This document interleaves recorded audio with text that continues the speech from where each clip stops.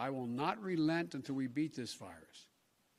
But I need you, the American people. I need you. I need every American to do their part. And that's not hyperbole. I need you. I need you to get vaccinated when it's your turn and when you can find an opportunity.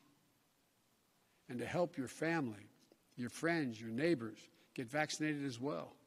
Because here's the point if we do all this, if we do our part, if we do this together, by July the 4th, there's a good chance you, your families, and friends will be able to get together in your backyard or in your neighborhood and have a cookout and a barbecue and celebrate Independence Day. July the 4th, by July the 4th, there's a good chance you, your families, and friends will be able to get together in your backyard or in your chance you, if we do our part, if we do this together, by July the 4th, there's a good chance you, your families, and friends will be able to get together in your backyard or in your neighborhood and have a cookout and a barbecue and celebrate Independence Day.